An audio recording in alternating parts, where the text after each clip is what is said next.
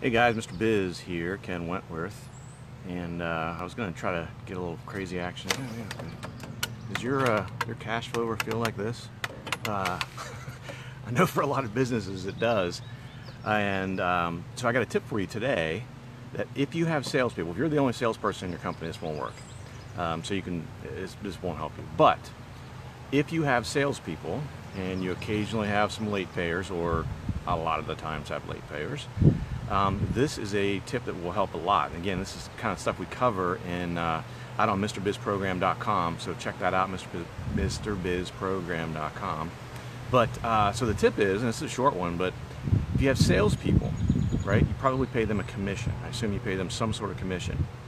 What you can do is you can assign your salespeople to essentially be your collectors, uh, meaning that they're not paid their commission guess what? Until their customer pays. It's a, it's a really good situation because, first of all, your salespeople have a vested interest in making sure their customers pay on time, right? So they're not going to sell something that they know darn well that their customer can't pay for. That's number one.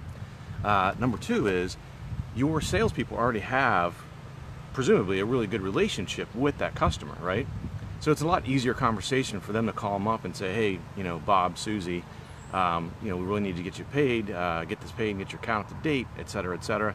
They're probably buddies. They may all go out and have some beers now and again, that all kind of thing. So it makes the conversation a lot easier if they happen to be in a late situation, as well as your salesperson, again, with the relationship they have with that customer, is going to make sure they're not selling something that's they're gonna, not going to oversell. They're not going to sell a, you know, an overpriced product to a customer they know that they can't they can't pay.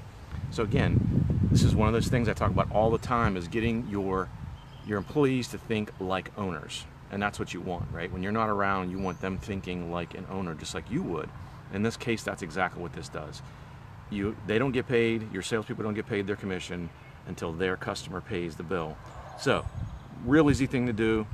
Um, it's just it's really really effective. We've, we've used this at several different companies.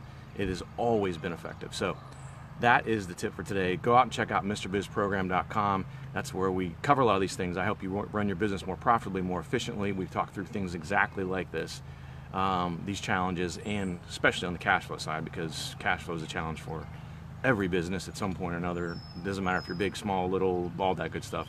So check that out, MrBizProgram.com, and uh, we'll be back with another video here uh, really soon.